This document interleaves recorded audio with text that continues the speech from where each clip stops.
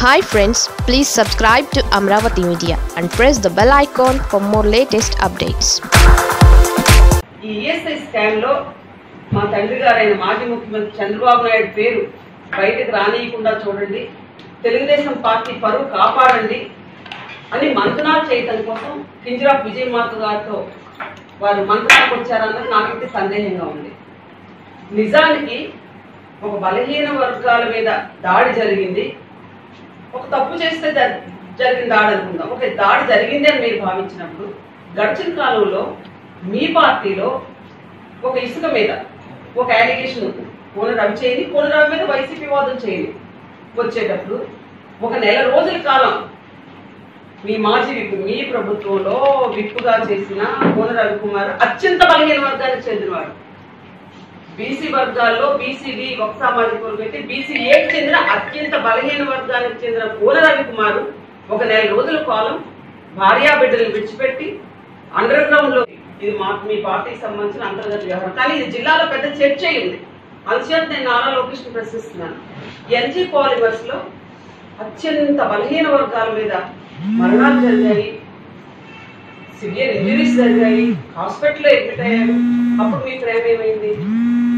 నిజంగా బలహీన వర్గాల మీద దాడి జరుగుతుంది. బలహీన వర్గాలను మేము ప్రొటెక్ట్ చేయాలి అని నిజమైన చిత్తశుద్ధి మీకుంటే నిన్న కాక మొన్న ఎల్జీ పాలిమర్స్లో పది మంది చనిపోయారు. గుర్తొచ్చే విధంగా భారతదేశ రాజకీయ చరిత్రలో సింగిల్గా పోటీ చేస్తుంది. తండ్రి మాదిరి అన్ని పార్టీలను పొత్తు చేసుకుని ఉభయ కమ్యూనిస్ట్ పార్టీలు బీజేపీ పార్టీని ఇంకేదైనా రాబోయే పార్టీని జనసేనని ప్రజారాజ్యం పార్టీని అన్నింటిలో కలిపి కాకుండా ఏ పార్టీ పొత్తు లేకుండా సింగిల్గా సింగిల్ రాజకీయ పార్టీగా వైఎస్ఆర్ కాంగ్రెస్ పార్టీ అబ్సల్యూట్గా ఒకే ఒక పార్టీతో పోటీ చేసి రాజకీయ చరిత్రలో ఎప్పుడూ లేని విధంగా eighty six percent seat share fifty one percent vote share ninety two percent MP seat షేర్తో Jaganmohan Reddy గెలిచింది వాస్తవం కాదా? ఫ్రిడ్జ్లు కొన్నావు బ్రాండెడ్ గాడ్రెస్ బీరువాలు కొన్నావు చేసినప్పటికీ మంగళగిరి ప్రజలు తిరస్కరించారే?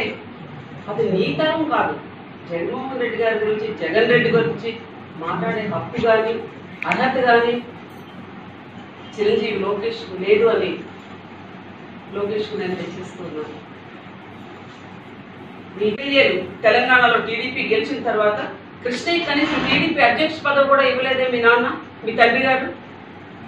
ఇదే నా బీసీ మీద ఉన్న ప్రేమ మీకు.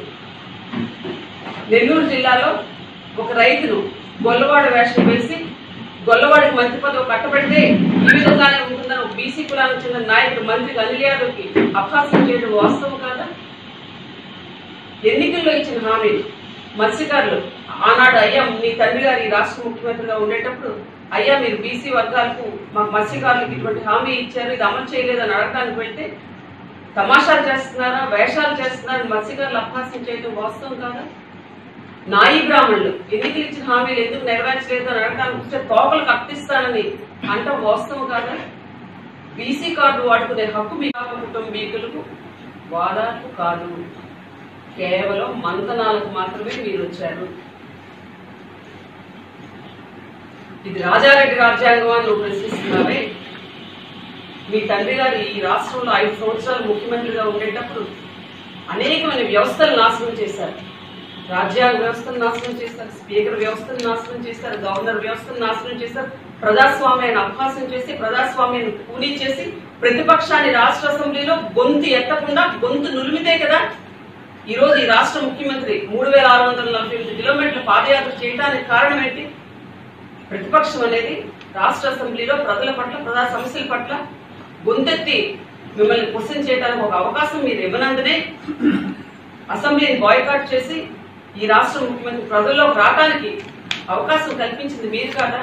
వ్యవస్థ కాబట్టి ఈరోజు అవినీతి పనులకు ఈ పార్టీ అండగా ఉంటుందని ఒక చక్కనైన మెసేజ్ శ్రీకాకుళం జిల్లా ప్రజలకు మీరు ఇచ్చి వెళ్ళారే తప్పితే బలహీన వర్గాల మీద దాడులకు మీరు చెల్లించిపోయి నీ మనసు ఏదో మానవతావాది నేను. నిజంగా నీకు మానవత్వం మానవతావాదం అయితే నేను చెప్పే ఈ వేసే ఈ క్వశ్చన్స్ సమాధానం చెప్పాలి పూల ప్రేమ ఈ రోజు మీకు గుర్తొచ్చింది. నెల రోజులు నిద్రాహారాలు మానే ఆ ఉందంట కదా అప్పుడెందుకు గుర్తుకు రాలేదు? అప్పుడు ఆ బలహీన వర్గ బలహీన వర్గానికి చెందిన వ్యక్తి కాదా ఎల్జీ పాలిమర్స్లో చనిపోయిన వాళ్ళు బలహీన వర్గాలకు చెందినవారు కదా ఈ రోజు వాళ్ళ ముఖం చూడడానికి కూడా నువ్వు రాలేదే? సో బలహీన వర్గాల గురించి బీసీ వర్గాల గురించి బీసీ కార్డును వాడుకునే హక్కు తెలుగుదేశం పార్టీకి లేదు అన్న విషయాన్ని నారా లోకేష్ గ్రహించి సరే నువ్వు ఏం మాట్లాడినా ఆటలో అర్పణ మాటలుగా మేము కన్సిడర్ చేస్తాము. అది పెద్ద వాల్యూ క్యారీ ఆన్ అవుతుందని నేనైతే భావించడం లేదు. మాట్లాడే ముందు చరిత్ర తెలుసుకో నీ తరం కాదు నీ తండ్రి తరం కాదు నీ తాత తరం కాదు అంతా నీకు నీకు లేదు. అవినీతి అధికారులు విజిలెన్స్ ఎన్ఫోర్స్మెంట్ నివేదికలో ఒక నూట యాభై కోట్లకు సంబంధించి అవతాపులు జరిగాయని నివేదిక ఉంది అని అవినీతి అధికారులు లక్ష్మీనాయుడు గారిని అదుపులో తీసుకున్నారు. ఓకే అది పక్కన పెట్టి. ఈ పక్కనే ఉన్న అయ్యన్న పాత్రుడిని నిర్భయ కేసు పెట్టారు. ఒక మున్సిపల్ కమిషన్ మీద ఆయన ఏ విధంగా వ్యాఖ్యానించారు? చివరికి చింతమనేని ప్రభాకర్ను కూడా వెనకేసుకొస్తూ మాట్లాడుతున్నావే. చింతమనేని ప్రభాకర్ను కూడా వెనకేసుకొస్తూ మాట్లాడుతున్నాం. అంటే ఎటువంటి వ్యక్తులు వెనకేసుకొస్తున్నారు మీరు? ఎటువంటి వ్యక్తులు సపోర్ట్ చేస్తున్నారు? పేరెత్తే సిగ్గుపడాల్సిన వ్యక్తుల పేర్లు కూడా సపోర్ట్ చేసి నీ మీద ఉన్న గౌరవం తీసుకుంటున్నావు లోకేష్ నువ్వు అని లోకేష్ కూడా విజ్ఞప్తి చేస్తూ బీసీ కార్డును దయచేసి ఉపయోగించుకునే ఉపయోగించుకున్న ప్రజలు మిమ్మల్ని విశ్వసించిన eighty percent eighty five percent BC Srikakulam జిల్లాలో మిమ్మల్ని విశ్వసించే పరిస్థితి లేదు. బీసీ కార్డు మీకు భవిష్యత్తులో ఉపయోగపడదు. బీసీల గురించి ఎన్నుకోవడానికి ఎందుకంటే బీసీలకు ఎలక్షన్ హామీలో నేను ముఖ్యమంత్రి జగన్మోహన్ రెడ్డి గారు ఎటువంటి హామీలు ఇచ్చారో బీసీలకు ఏ విధంగా ఆదుకుంటా ఉన్నారు వారందరినీ అన్న మాట కట్టుబడి ఈ రోజు ఆదుకునే విధం ఆదుకునే విధానం ఈ రాష్ట్రంలో అమలు జరుగుతుంది. అందులో భాగమే బీసీ వర్గాలకు చెందిన దర్జీలకు పదివేల సంవత్సరానికి ఇవ్వటం కానీ నాయి బ్రాహ్మణులకు ఇవ్వటం కానీ రజకులకు ఇవ్వటం కానీ బీసీని ఆదుకునే విధానంలో భాగమే. నేను అడుగుతున్నాను లోకేష్ లోకేష్ సమాధానం చెప్పగలరా అని అడుగుతుంది మొన్న రాజ్యసభ ఎన్నికల్లో ఇద్దరికి బీసీ వర్గాలకు చెందిన నాయకులకు మేము రాజ్యసభ ఇచ్చాం. మీ తండ్రి గారు.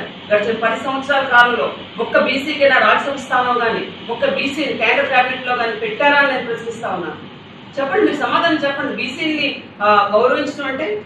మేము గౌరవించాం. మన ఎన్నికల్లో నలభై తొమ్మిది మంది బీసీలకు మేము ఎమ్మెల్యే టికెట్లు ఇచ్చాం ప్రశ్నిస్తా ఉన్నాం. బీసీల గురించి మీరే మాట్లాడేది?